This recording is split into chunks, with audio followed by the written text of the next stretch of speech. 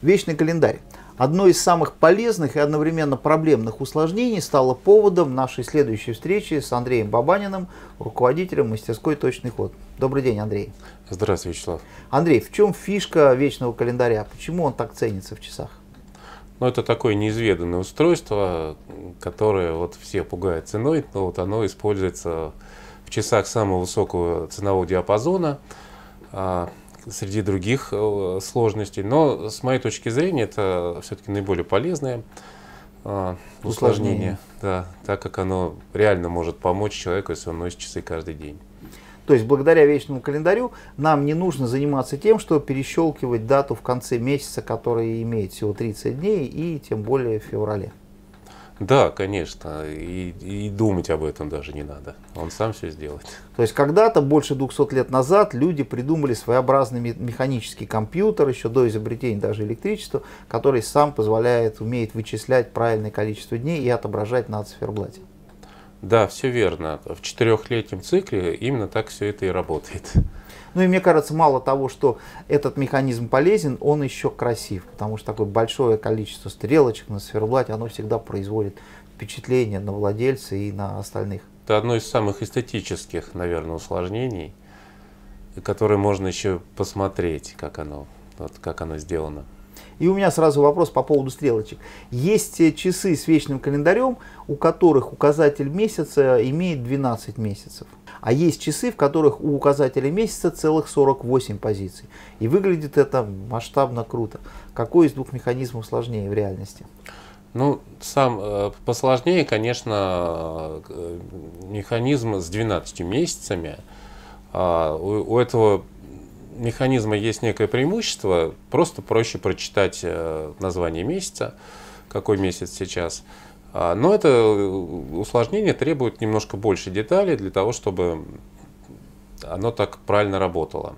А, сам программатор 48 месяцев это такой, такое колесо, в котором имеется прорези определенной величины, их там 48 штук по количеству месяцев. Давай я его тебе покажу. Итак, перед нами а, механизм вечного календаря а, с программатором на 48 зубьев. В нем 4 длинных пропила, это феврали. Один из них более короткий, это високосный февраль. Также обратите внимание на щуп, который меряет, какой из зубьев находится в данный момент. В данный момент стоит октябрь.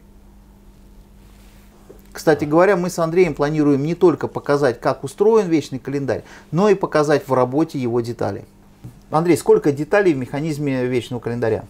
Может быть достаточно большое количество, и больше 300, и больше 400.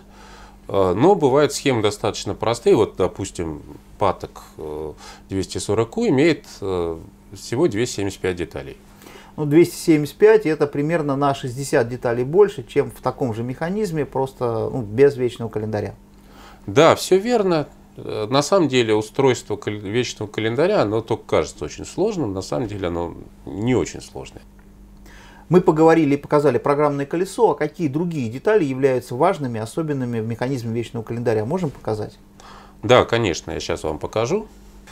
Как я рассказывал ранее, обращаем внимание на программатор с 48 зубьями, длинные пропилы – это феврали, э, менее длинные из них – это високосный февраль.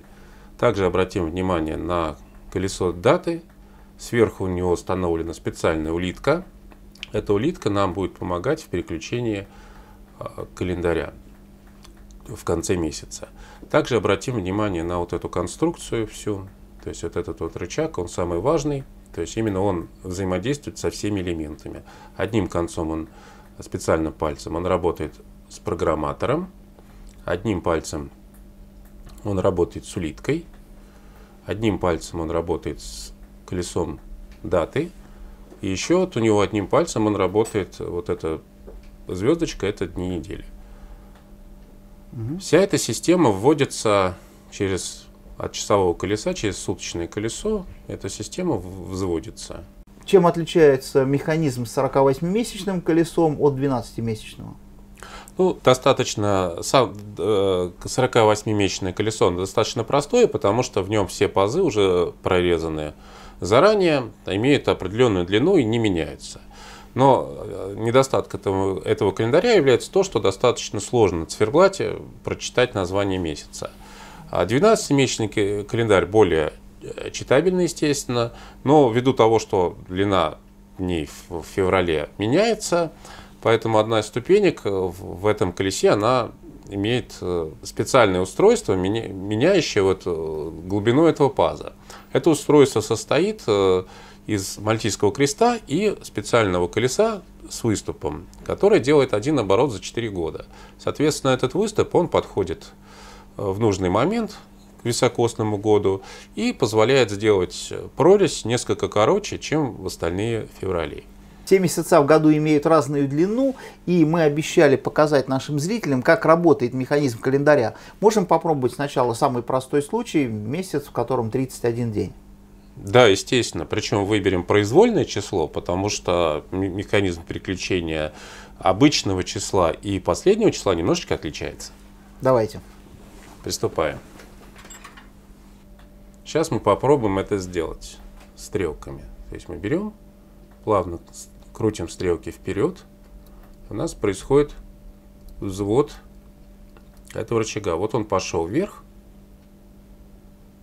у нас сейчас стоит не конец месяца, поэтому календарь вот э, календарь работает в обычном режиме. То есть вот он э, собирается перевести число, день недели, и мы, значит, и еще и Луну. Вот закончился перевод. Все, дальше, дальше э, так календарь будет работать э, большую часть времени, пока не будет конца месяца. Со средними числами месяца все просто. А что будет происходить 31 октября? 31 а, октября переключение будет осуществляться несколько по-другому. И мы сейчас увидим, для чего нужна эта улитка, которая вроде как была не нужна. А, теперь мы рассмотрим, как это происходит в конце месяца. То есть мы сейчас взяли произвольно один день, но посмотрим, как это происходит в конце месяца. В конце месяца это происходит немножко иначе. То есть в данном случае а, у нас начинает работать эта улитка. И мы посмотрим, как это делается. Итак, я подготовил календарь а, на конец месяца. Сейчас у нас 31 октября. Мы должны переключиться на 1 ноября. Календарь готов а, к заводу. Итак, он, как видите, на, начал двигаться рычаг, который ответственный за перевод всех э, дисков, колес. Но обратите внимание, что теперь перевод даты осуществляется специальным рычагом. Крутим. произошел перевод даты на одно число. А программатор занял место следующего месяца, ноябрь. А палец углубился на немножко глубже, что соответствует месяцу в 30 дней. Я рад, что у нас теперь уже настал ноябрь, в котором не 31, а 30 дней. Давайте посмотрим, как происходит переключение последней, последнего числа месяца, переключение месяца вот в такие в короткие месяцы. Сейчас у нас переключение должно, должно осуществиться за два этапа. Приступаем. Итак, мы посмотрели, как работает календарь в произвольный день, а также в конец месяца, когда у нас 31 день. Увидели, что есть небольшая разница. Один раз это переключается одним пальцем, в другом случае это другим пальцем. Сейчас мы посмотрим, что происходит, когда в месяце 30 дней. Я его выставил сейчас на 30 ноября. И сейчас посмотрим, что у нас происходит. Итак, я кручу стрелки. И обратите внимание, что палец начал толкать число, а, колесо даты вперед. Итак, произошел один щелчок. Дата перешла на одно положение. И далее идет второй щелчок. Итак, календарь перевелся с 30 на первое число. Наш механизм работает гораздо лучше, чем механизм, который управляет погодой, по крайней мере в городе Москве, потому что если часы на зиму уже переключились, то погода за окном пока переключаться на зиму не собирается. И я предлагаю из зимы, которая так и не началась, попробовать перейти сразу в весну. Андрей, покажи, пожалуйста, как будет происходить переключение в конце февраля. Учтите, что это будет самое интересное переключение, потому что число должно переключиться 4 раза. За одно движение стрелок. За, за, за один вечер. За один вечер. Да. Попробуем. Так. Итак, я выставил календарь на, на февраль. Обратите внимание, что палец считывающего устройства а, в самом глубоком пазу а, программатора. Сейчас у нас а, 28 число стоит. Посмотрим, что произойдет, когда мы будем переводить а, стрелками календарь вперед. Обращаем внимание также на вот этот палец, который нам сейчас будет э, толкать число аж на целых 4 дня вперед.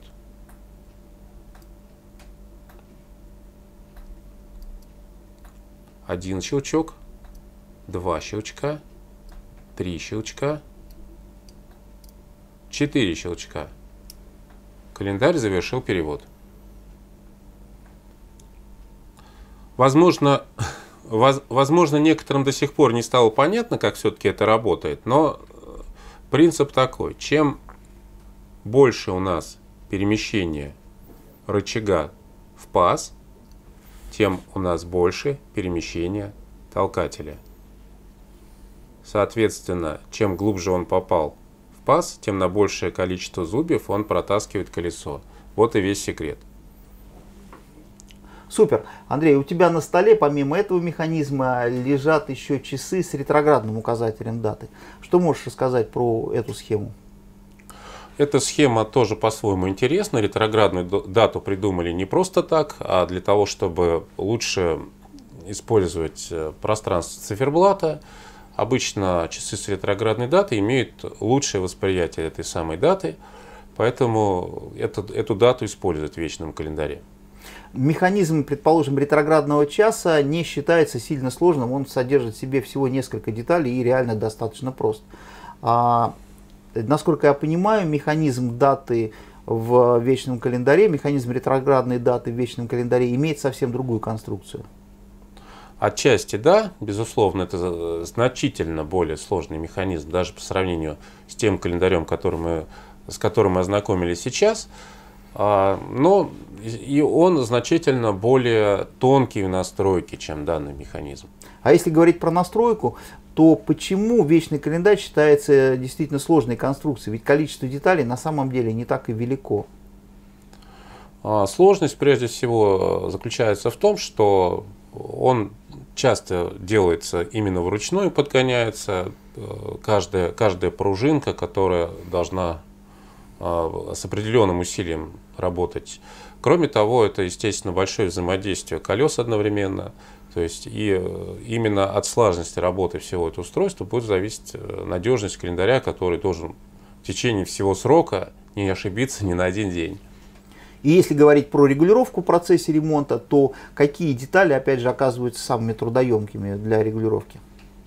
Самый сложный в настройке является эта деталь, вот это рычаг, который одновременно переводит несколько колес. Колесо даты, колесо дня недели, а также измеряет глубину паза. Вечный календарь был изобретен больше 200 лет назад, но остается очень популярной конструкцией и сегодня. Какие основные типы механизмов с вечным календарем можно встретить сегодня на рынке? Может, можно ли сказать э, про какие-то специфические модели? Ну, безусловно. Хотя я бы заметил, что разделить надо достаточно просто. Есть а, системы, которые используют старый классический вечный календарь, а также есть системы, которые уже придумали что-то новое, производители придумали что-то новое.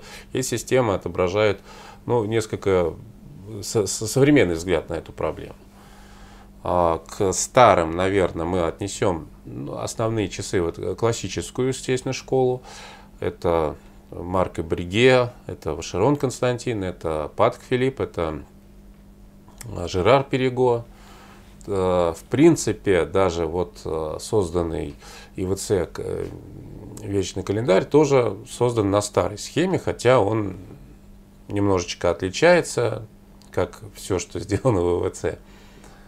А также я бы отдельно заострил внимание на вечном календаре Лиснардин. Который имеет возможности для ручной корректировки самим владельцам. А, имеет возможность ручной корректировки и ИВЦ тоже, но у ИВЦ это только в одну сторону, поэтому если вы случайно ошиблись на одно число, то обратно... Придется подождать. Да, придется подождать. И хорошо, если вы ошиблись... На день, на, день. на год. А бывает, э, у нас был случай, когда и на 8 лет ошиблись, потом поняли, что уже деваться некуда, надо нести в сервис. Э, а восстановка календаря в этом случае очень дорогая. А Юлис Нардин в этом плане, конечно, исключительно удобный для пользования владельцам, потому что этот э, календарь шикарно выставляется вперед и назад.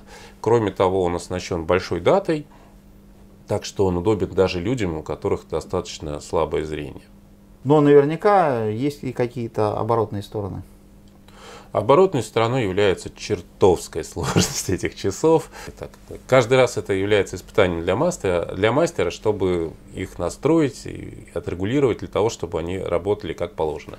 Ну и можно в конце дать какие-либо советы или по выбору механизмов с вечным календарем, или советы владельцам часов с вечным календарем. Советы владельцам, прежде всего, носите их почаще. Для того, чтобы не останавливались. Для того, чтобы эта функция работала. Общим недостатком вечных календарей являются утопленные кнопочки, которыми выставляем время. Если ими, да, если ими часто не пользуются, они, естественно, закисают, и надо хотя бы убедиться, что если вы случайно нажали, она туда провалилась, чтобы она вышла обратно. В данном случае вы не испортите механизм. А, поэтому пользуйтесь чаще, как можно, чтобы все работало, чтобы часы приносили удовольствие.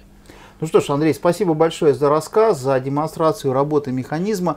Если вам понравился этот ролик, поставьте лайк. Если есть вопросы к Андрею Бабанину, оставляйте их в комментариях под этим видео. И подписывайтесь на канал, оставайтесь с нами.